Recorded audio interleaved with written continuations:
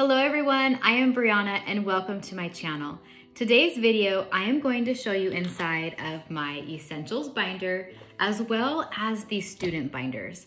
I've had some questions on how um, to set them up and how I did it. I'm going to have two students or two children in Essentials this year and their binders are pretty similar except for maybe one or two things, but I wanted to show you inside of that. Um, I did a video of this last year and I kind of changed it up just a little bit. I consolidated things. I had so many binders and it was just kind of hard to keep track of. So let me go ahead, I'm gonna flip you around and show you inside of these binders. All right, let's start with the binder that I take to Community Day each week and what I teach out of at home. Last year, I had this separated into multiple binders and it was just kind of difficult to keep track of things. And I went back to having everything all in one binder. It is heavy and it is big to lug around, but it was better for me to have everything together, especially in class. If I wanted to flip back a few weeks, I had it. What I did the first year of CC was I took this binder. Here, hold on, let me see. This binder, it is the IEW um, Teaching, Writing, Structure, and Style and I would take the week that we were on in essentials and then put the week right in front of here. So I had the week in front of me as well as all of the things that I needed for IEW. I thought that was, you know, good and everything until the second year I found that I was kind of more um, involved is the wrong word, but just more uh, into learning and digging in a little bit deeper than I did the first year.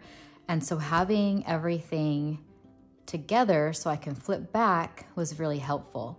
So as we open up the binder, now the binder I have is a better binder and they are from Staples. And this is a three inch binder.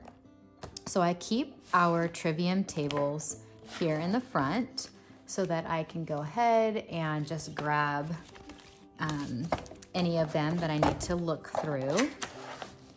So I keep those in that pocket. Scooch this over. And then I have the charts right in front. And then we have the editing pages right after that. And then I have the sentences for each week. And I just tabbed these charts, editing, and sentences. And then when we get to the sentences, I have them all numbered by week. So then if I am looking for week 10, I just flip there and it gives me the sentences that we are going to be going over. So I have those in front. And then we keep going and I added this section. And it is basically what CC, they give you these dividers and then each week what we're going to be going over in class.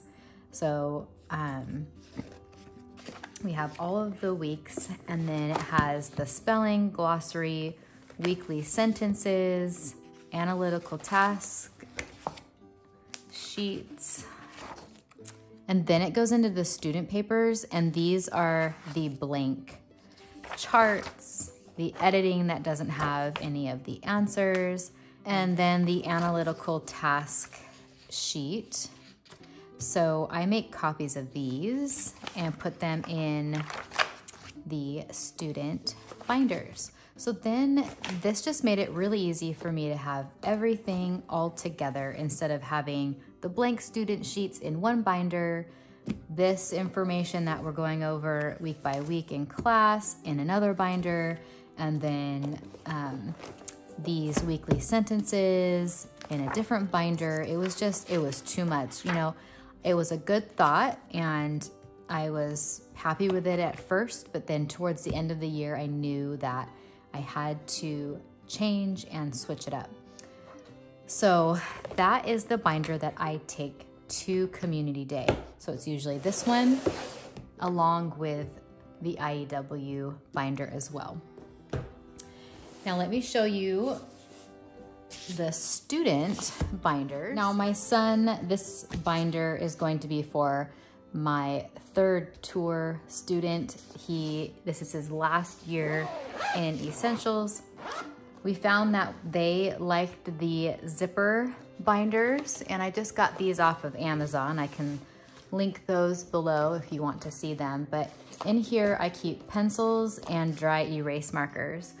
Now, usually some communities will have you keep dice and flashcards um, and things like that in the student binder. But in our community, our director gives each student all the materials that they'll need for class in like a zipper pouch. And then the tutor keeps that in a bin and just passes that out each week. So I feel like I don't need my sons to lug around playing cards or dice when I can have them here in the schoolroom when they need to grab them. So how I set up the student binder, I did this last year and I really liked it. I really enjoyed it. So this one I actually didn't do last year. There was a printable on CC Connected that kind of had what they were going over and how many charts and the spelling and all of that. And I feel like I didn't use all of the information that was on there. So my thought this year was just to make a copy of that first page in my guide over that I just showed you and put them in their tabs for the week. So my plan is to keep the total of charts that they do each week because the tutor likes to know that. I will write the IEW lesson or lessons that we are doing that week and then the math that we're on in CC for the memory work, and then anything extra that we're going to add in for language arts in this little box here. And then this kind of gives you a breakdown of what they're learning. So I thought, hey, why not try to use this? And then we flip to the IEW pages. So what I did is I cut the spiral binding off of the IEW writing book. And then I kind of cut down a little bit on the side and hole punched them.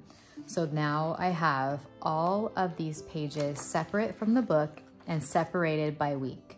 And a piece of paper so that, a couple pieces of paper so that they can write on them when they write their paper. And then after it's done, I will paper clip them together and then he's complete. Last year, I also printed out crossword puzzles or anything like that. And while he did use them, sometimes they didn't always get done. So my thought is if he, he's in the mood for a crossword puzzle or a word search for the vocabulary words, then he can ask me or I can just kind of mention it and I'll print it out that week.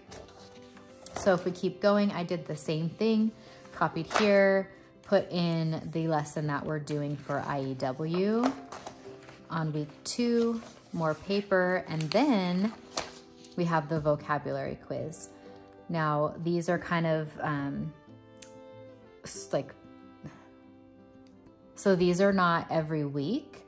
It has in the back of your IEW book, the student book, it um, tells you when to give the quizzes. And so then after that certain week, that's where I put them in their binder. And then it's just the same all the way. I did all of the weeks. Just the same way. and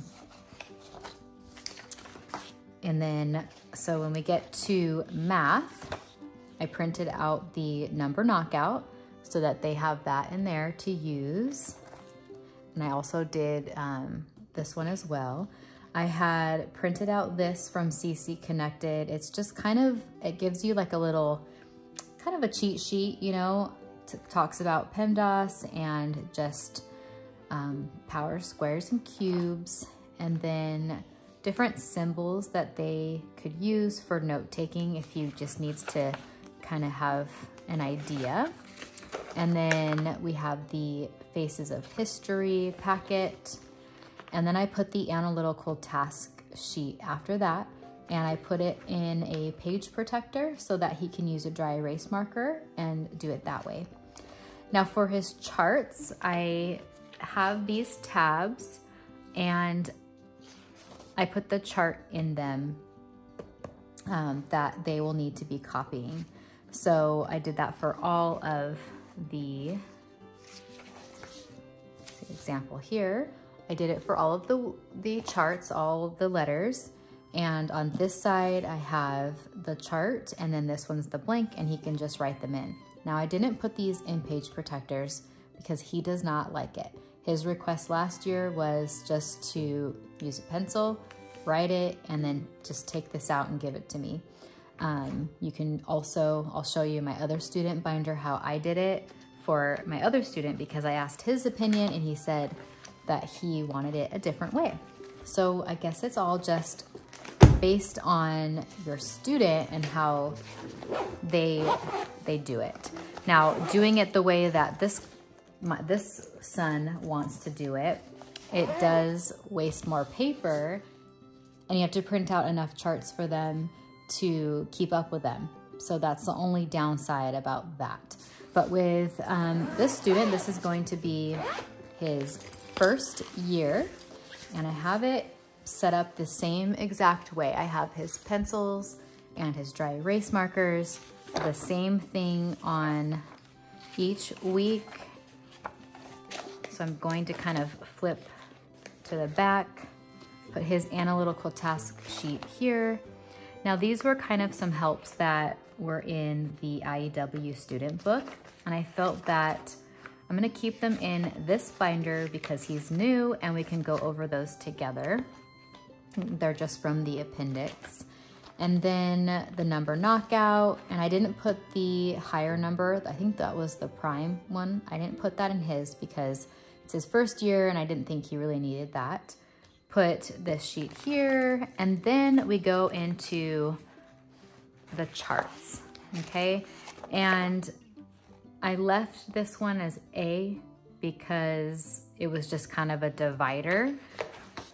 But how it's broken up is each chart is in a page protector. I have the chart and then I have the blank and he's gonna take his dry erase marker and then write it all and then he'll erase it and then keep a tally of how many he's done. So I went ahead and just did that for all of the charts. And this way is actually, I mean, it's easier because you don't have to sit and make a ton of copies. They're just writing it, erasing it, writing it, erasing it. Um, my first son, though, he can't or didn't want to write that small and it was just too frustrating for him and he needed a pencil. So, you know, it's however your child is going to do it, that's how you should make their binder, you know, their binder should work for them. okay, so again, I don't have the dice or cards or anything in here because that is available for us in Community Day. Um, these binders are kind of fun because if you need to be on the go, it has, can you kind of see that? It has little dividers and you can put other work in there and then this binder can serve as an on-the-go school that you can take anywhere. Now for the vocabulary cards, I'm going to flip you back around and talk to you about how um, I go over these with the kids and where I store them. So these are the vocabulary words that are found in the back of the IEW student workbook. And since I cut the binding off of my book, I was able to free up those pages and I cut them all into individual flashcards. Now how I did this last year, I will show you my little basket. I got this basket at Target and it's, you know, small enough to just keep on the counter. And I kept everything from the CC flip book, these little flashcards to go through for memory work, you know, the math cards. And then this is how I kept my essentials vocabulary cards. So these were from last year. And I just set them in this little card holder in the basket and they would pull them out and just kind of go through them. And um, I always keep the cards on the bookshelf over in the corner. Let me see if I can. So in this little um, three little drawer thing, that's where I keep the cards. And each week I will pull out the cards for the week. So it won't be this huge stack to begin with. It'll just be, let's see, lesson two. It'll maybe just look like this, just with a couple cards for them to look over.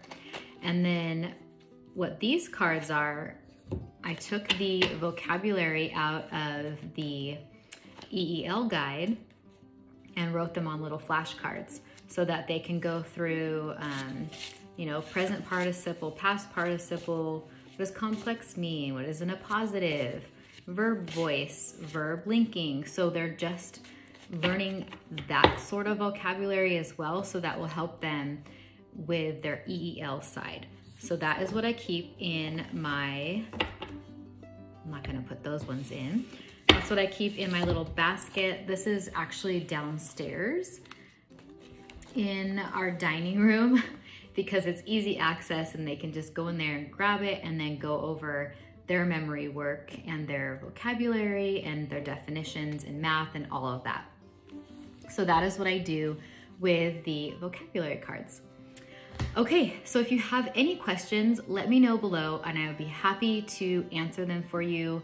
I hope it was helpful to see inside of those binders just to kind of get an idea of what to do especially if this is your first year, because I remember how I felt my first year. I had no idea how to set anything up, what I was doing, or what to expect. So again, let me know if you have any questions and I will help you. Okay, I will see you all on the next video. Thank you. Bye.